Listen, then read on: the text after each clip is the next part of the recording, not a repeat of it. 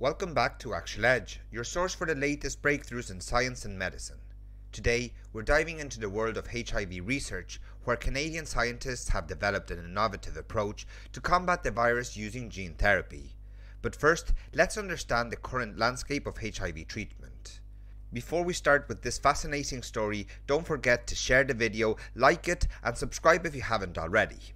As of 2024, around 39 million people worldwide live with HIV, a virus that attacks the body's immune system, leaving individuals vulnerable to infections and diseases.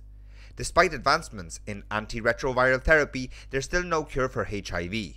Without treatment, HIV can progress to AIDS, severely compromising the immune system and increasing susceptibility to opportunistic infections.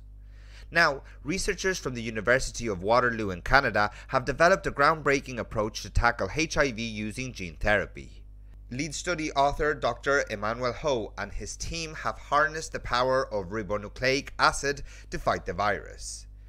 The research engineered a new nanomedicine filled with small interfering RNAs, siRNA, which can regulate specific genes in the body.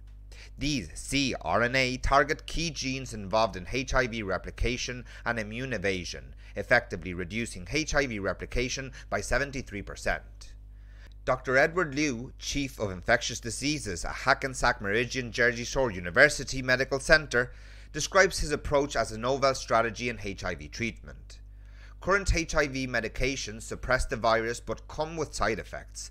This new nanomedication could prevent HIV infection and reduce the number of new cases worldwide. Looking ahead, Dr. Ho and his team aim to optimize nanomedicine's efficacy and explore its potential for preventing HIV transmission. By developing a vaginal product, they hope to empower individuals, especially women, with more control over their health. As we continue to navigate the complexities of HIV, innovative approaches like RNA therapy offer hope for a future where HIV is no longer a global health threat.